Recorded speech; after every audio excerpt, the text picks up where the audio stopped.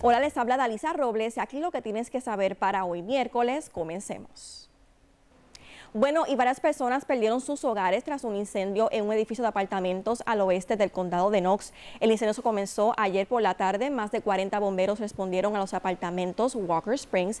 El edificio declarado pérdida total tiene ocho unidades y otro edificio sufrió daños graves relacionados al humo. Nadie resultó herido. La Cruz Roja estuvo en la escena para ayudar a los afectados y ahora investigadores indican que están trabajando para determinar la causa del incendio.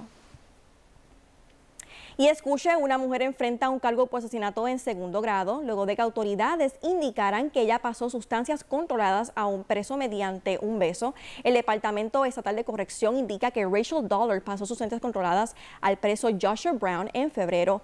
Él tragó un pequeño contenedor de metafetamina y luego murió en el hospital. Ella se encuentra en la cárcel del condado de Hickman.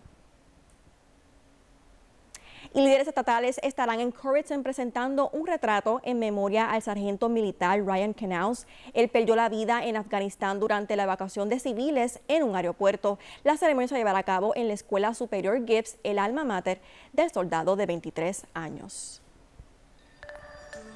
Bueno, y el tiempo hoy será un día parcialmente nublado con la probabilidad de algunos aguaceros durante la tarde. La temperatura máximas en el rango bajo de los 80 grados y por la noche mínimas en el rango medio de los 60 grados.